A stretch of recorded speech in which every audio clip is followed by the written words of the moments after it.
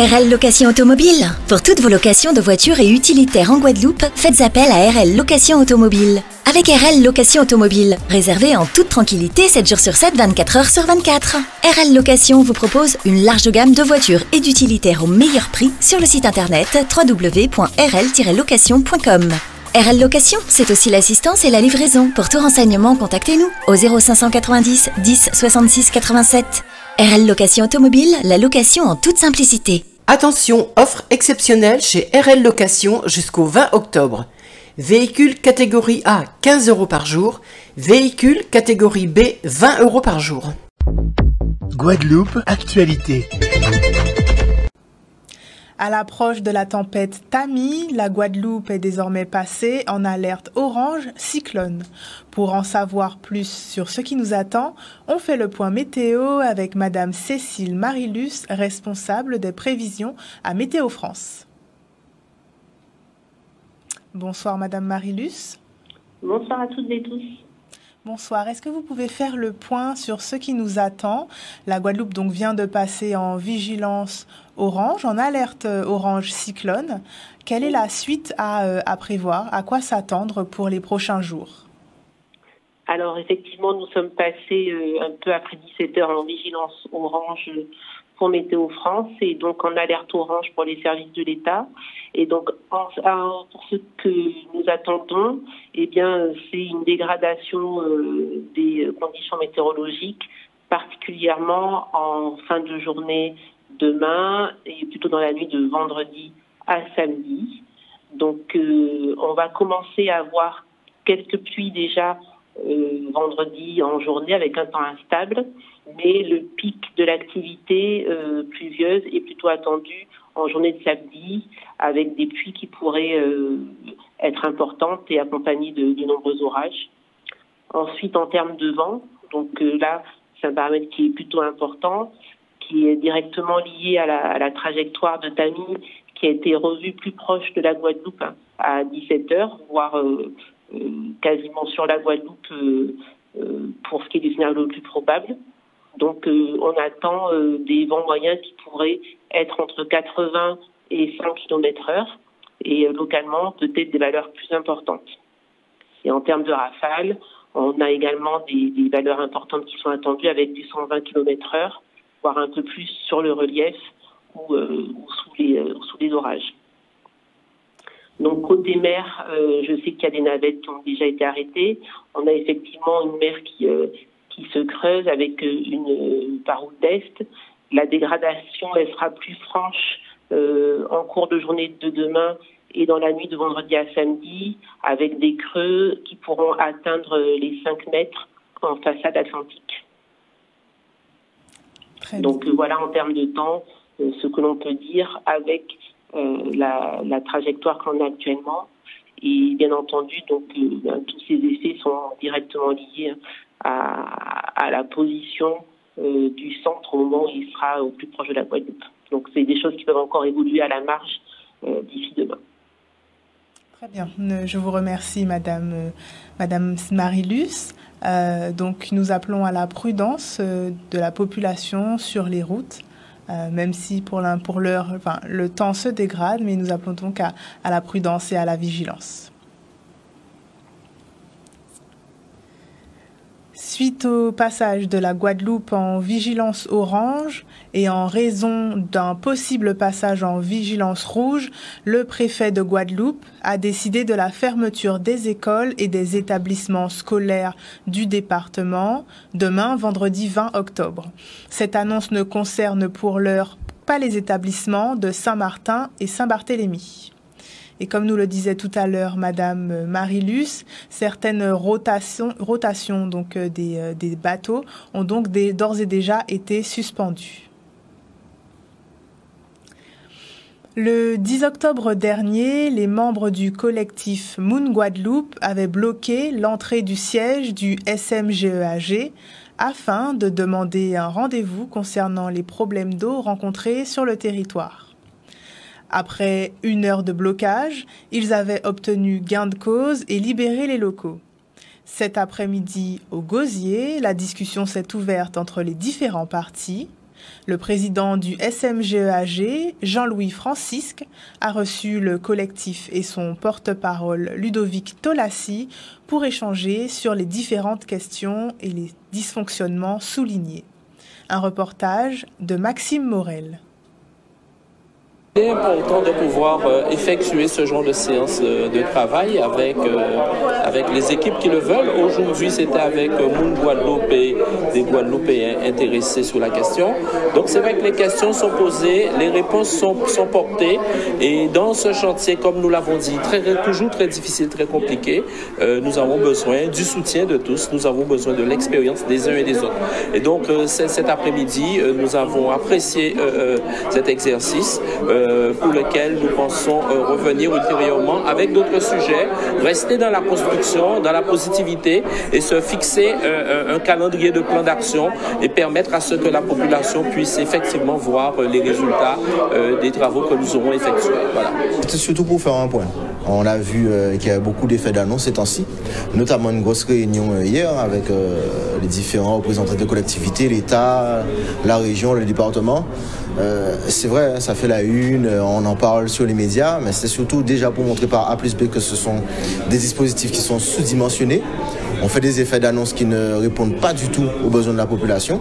On avait certaines inquiétudes techniques euh, par rapport à des annonces qui ont été faites, notamment la distribution de packs d'eau. On a bien vu que eh ben, le budget n'existe pas, les moyens ne sont pas mis en œuvre et qu'il n'y a pas de, budget prévu pour, de toute façon. Donc c'est bien d'annoncer des choses, mais matériellement, ils ne sont pas possibles.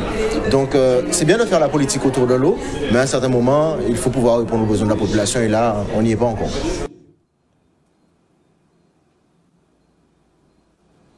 Pour répondre aux spécificités de l'habitat social en Guadeloupe, l'UCHOM, l'Union sociale pour l'habitat outre-mer, a présenté hier après-midi le premier livre blanc de l'habitat outre-mer. Avec les 40 mesures qui ont été proposées, l'UCHOM vise à améliorer l'action publique en faveur d'un logement digne et durable pour les ultramarins. Un reportage de Charlie Dagonia. Ce livre blanc a été conçu face à un diagnostic et un état des lieux, et nous avons donc des propositions. L'UCHOM est une force de proposition, une force de réflexion, mais aussi un lobby auprès des pouvoirs publics. Et là, aujourd'hui, nous avons donc plusieurs propositions afin d'améliorer euh, l'habitat social en Outre-mer. En Guadeloupe, vous le savez, vous avez 80% de la population qui est éligible au logement social. Il y a urgence à intervenir. Il faut produire des logements. Or, nous ne produisions pas assez de logements. On a 10 000 demandes de logements euh, social en Guadeloupe, on a produit à peine 200 ou 300 par an. C'est pas euh, suffisant si nous voulons donc inverser la courbe.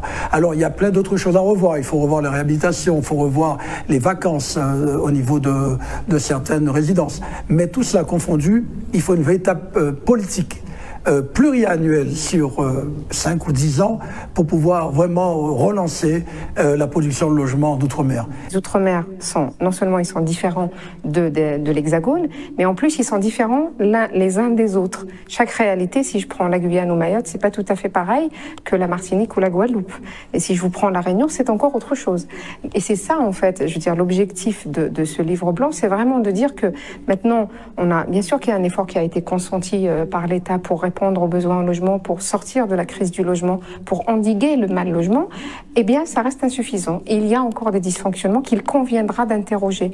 Donc, notre objectif, c'est d'interroger la façon, le système par lequel nous intervenons, euh, sans, sans j'ai envie de dire, trahir le fait que oui, il y a des efforts qui sont consentis, mais tout en disant aussi que, au regard des enjeux et des besoins de nos territoires, cela reste, de notre point de vue, encore euh, peu ambitieux, ou tout pour le moins, il faudra faire plus pour euh, atteindre nos objectifs. Ce fameux livre blanc, vous voyez, je, je vais le découvrir comme pratiquement comme vous, et que c'est après avoir l'avoir étudié que je pourrais euh, développer dessus, regarder qu'est-ce qu'il y a de positif pour les locataires, parce que, mais je fais confiance à celle qui a mené le débat, c'est pour pouvoir euh, essayer, je dis bien essayer, parce que eux-mêmes ils constatent que le logement, c'est déjà trop cher ici.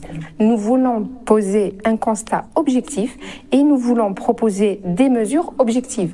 Sans prendre en compte euh, qui, qui n'est pas assez bon, qui ne joue pas son rôle ou quelle est c'est, la, c'est de la faute à qui. C'est une responsabilité collective et c'est en nous interrogeant collectivement sur le système qu'on pourra, me semble-t-il, euh, vraiment répondre euh, aux besoins de nos territoires et de tout point de vue, hein, c'est-à-dire l'insalubrité, l'indignité, mais aussi améliorer le, l'habitat outre-mer.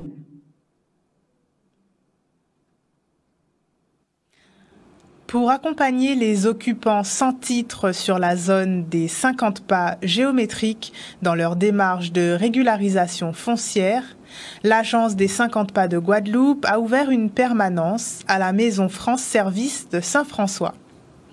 Pendant toute la journée, les personnes concernées ont pu être éclairées sur leur situation et obtenir des réponses sur les 50 pas géométriques. L'agence rappelle qu'elles ont jusqu'au 31 décembre pour être recensées. Un reportage de Maxime Morel. Aujourd'hui, à, l'invitation de la municipalité de Saint-François, donc euh, on vient tenir une permanence pour euh, accompagner les occupants sans titre sur le littoral dans, leur démarche euh, de régularisation. Voilà, il faut savoir que voilà, la, L'État a fixé une date limite au 31 décembre 2023. Euh, Donc euh, nous essayons d'accompagner au mieux euh, les gens dans, cette démarche-là.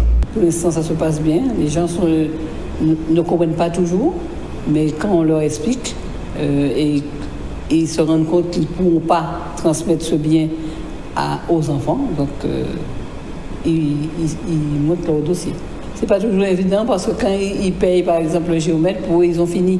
Alors qu'après, il y a le terrain à payer. Donc il faut toujours leur expliquer et tout. Et il faut se dire que sur le littoral, ce sont des personnes âgées et qui comprennent, s'ils ne sont pas accompagnés, ils ne peuvent pas tout comprendre. C'est important de, de, par, euh, de par le fait que, bon voilà, on, a tous les nouveaux médias maintenant, mais il faut savoir quand même que la population qui est sur le, littoral, c'est en majorité une population âgée. Et cette population-là, si on veut la toucher, forcément, ça passe par de la, proximité. Et en ce sens, les mairies aussi euh, nous accompagnent euh, euh, en, nous invitant, voilà, comme ça, et en, en, rencontrant les gens et en leur expliquant un peu comment, comment se passe la procédure. Ce matin, la crèche Casa Pichoun à Laboucan Sainte-Rose a organisé un exercice de secours grandeur nature avec la participation des pompiers. Pour sensibiliser les plus petits mais aussi se préparer face aux risques, euh, pardon, euh, les, les salariés et la directrice de la crèche ont participé à cet exercice. Un reportage de Charlie Dagonia.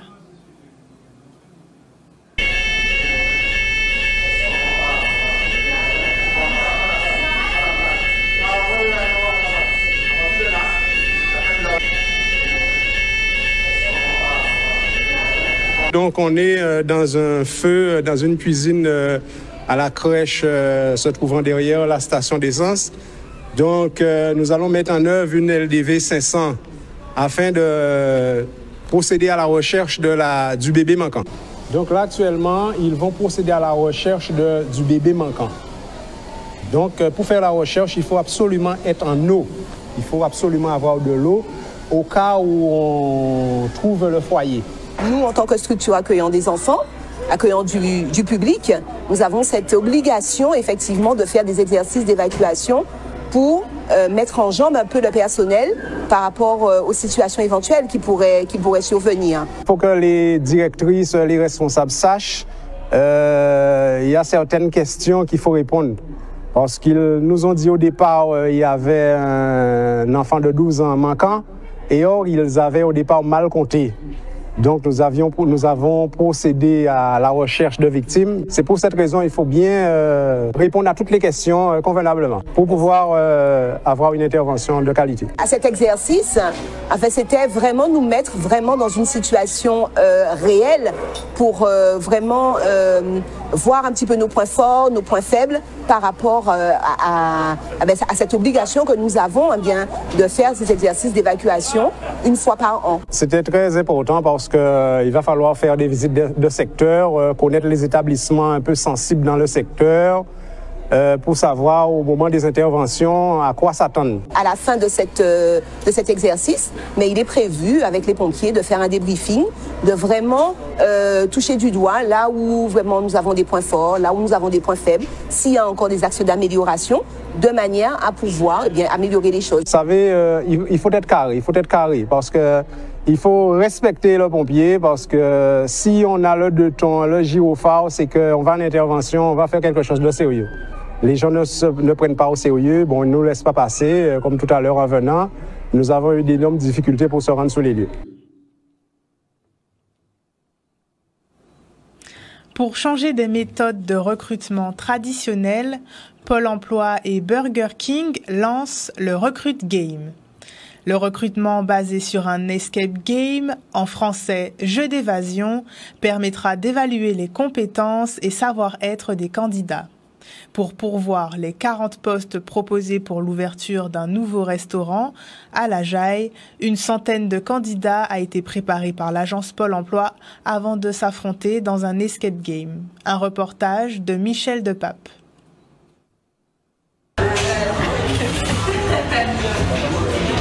Fait au Burger King du Gosier où euh, se déroule actuellement la quatrième session de recrutement innovante, c'est un recrute game.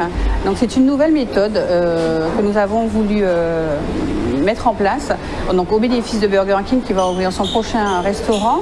Alors on a euh, choisi ce mode de recrutement euh, pour mettre en avant les qualités humaines euh, des candidats parce que chez Burger King on met vraiment en avant l'esprit d'équipe, la communication, la passion et ce sont des valeurs, des, des compétences qui sont difficiles à déceler directement sur un CV.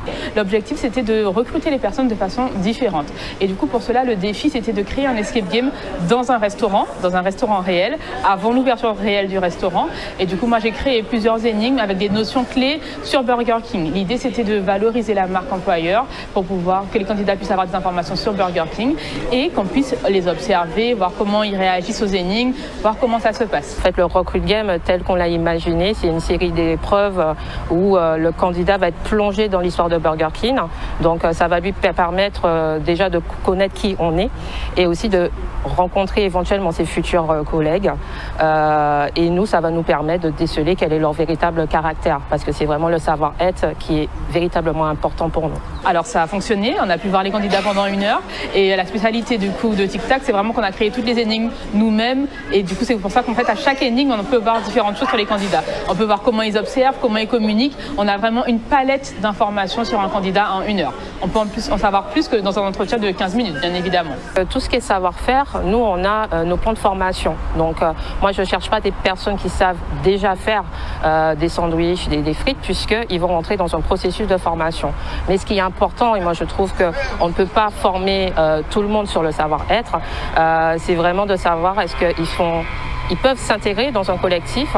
Est-ce que aussi ce sont des personnes en général souriantes? Est-ce qu'ils résistent au stress? Et tous ces éléments sont véritablement importants parce que nous considérons que c'est seulement comme ça qu'on arrive à constituer une bonne équipe.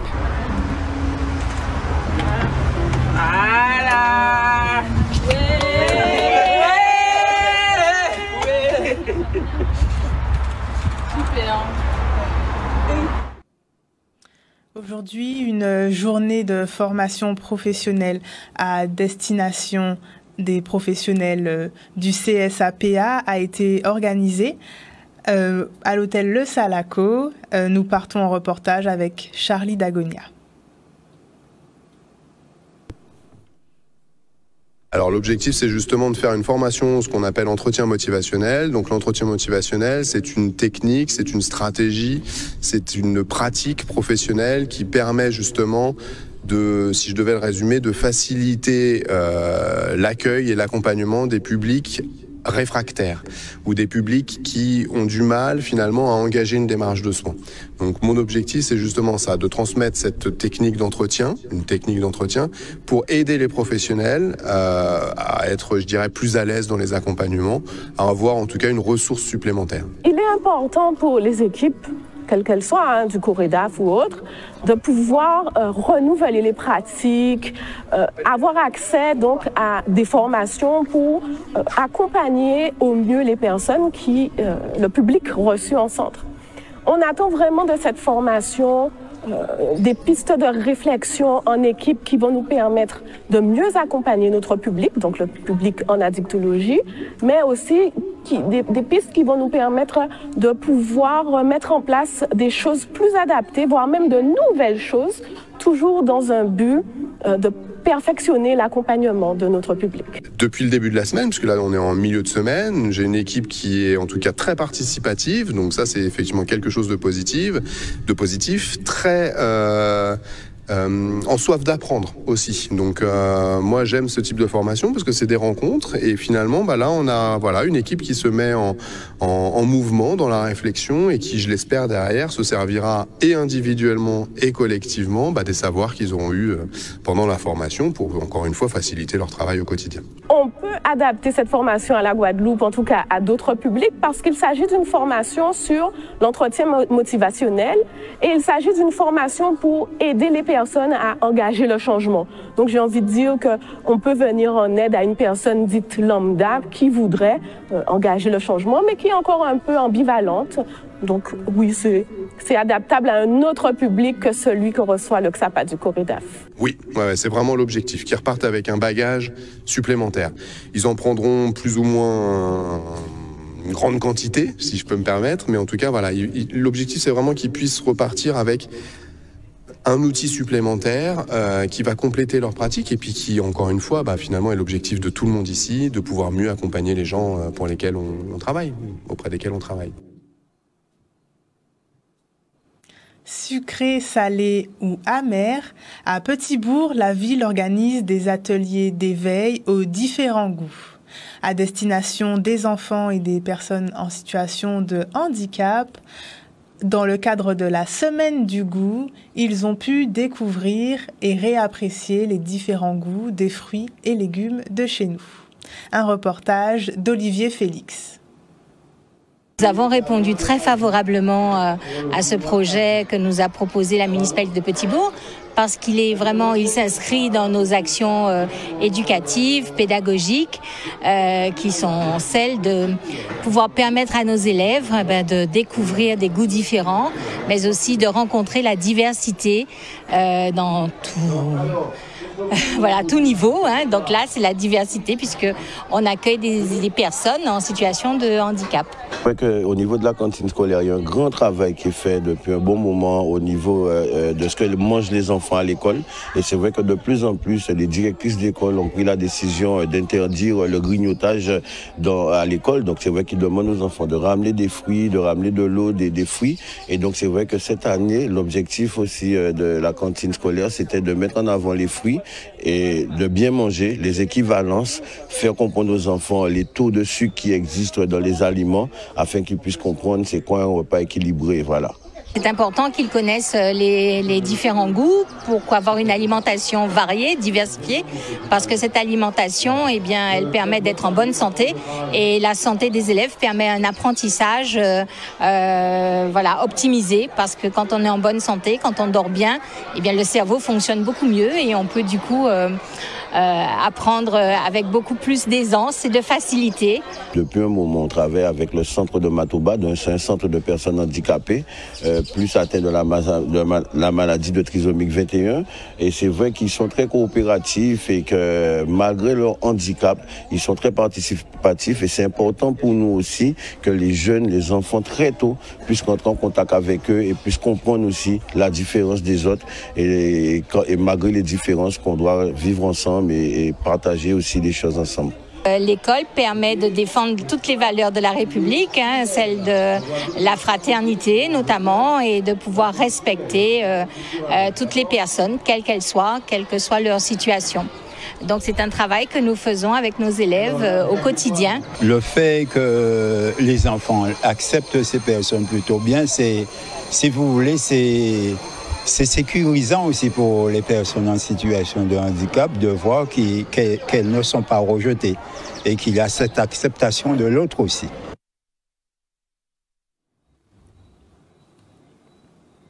Hier, mercredi 18 octobre, la police nationale de Guadeloupe et le CREPS anti-Guyane ont organisé une rencontre entre des jeunes Guadeloupéens et Jérôme Laporal, athlète de haut niveau et gardien de la paix. L'occasion d'évoquer son parcours de sportif et de policier, mais aussi d'échanger sur les métiers et les raisons de s'engager. Un reportage.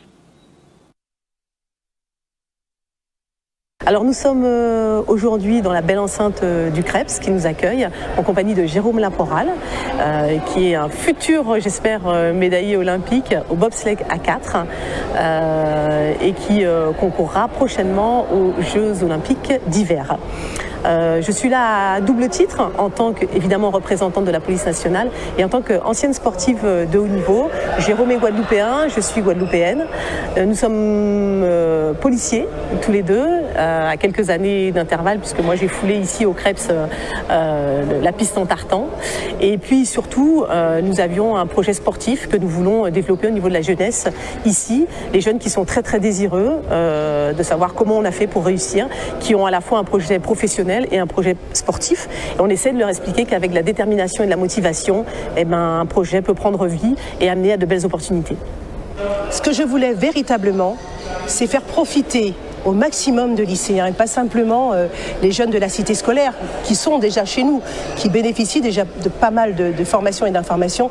Je voulais faire vraiment profiter d'autres jeunes, d'autres lycéens de ce que c'est que ces métiers de la sécurité, de la protection civile ces métiers qui peuvent aussi accompagner le double projet. Donc l'exemple de Jérôme Laporal qu'on a, que vous avez vu ce matin donc sur, la, sur la terrasse est un exemple tout à fait frappant. Voilà un jeune qui était sur un projet sportif, qui rentre dans la vie professionnelle et qui se voit accompagné pour sa performance par sa profession. Et c'est très exactement dans cette voie-là que nous sommes en train de diriger nos jeunes. On, s'origine de Marie-Galante, en fait en là. Et en fait, on commençait par le football là, et ensuite après, nos amis ont quitté Jean là. Et je me dit, bon, il a cherché un bug, il a cherché moi, ton groupe d'athlétisme. Donc il parlait de moi à coach là, et euh, je me suis dit, bon, ok, je vais voir moi. Donc on passait, une idée, test à faire, on fait trois tests. 260 mètres et en 300. Là, on fait des, 60, 60 mètres là. Je dis, moi, bon, c'est moi, il faut moi signer. Tu es entraîné à Bob là. Tu vois, cousin moi sur Internet. Mais c'est venu, moi un message sur Internet.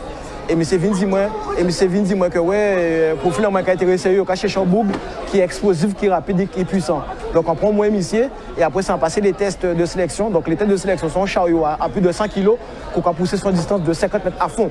Et ensuite, après ça, on a affronté les mêmes boucles qui étaient déjà en l'équipe de France, ça finit troisième. Dit, moi, est-ce qu'on a un passeport? On dit, euh, ah, on n'a pas un passeport. On fait passeport là. Après l'aventure, commence à faire le tour du monde au Canada, aux États-Unis, fait tout l'Europe et ça a débouché sur une fierté qui est les Jeux Olympiques en 2022, il y a deux ans de ça. O News Radio sur outremernews.fr.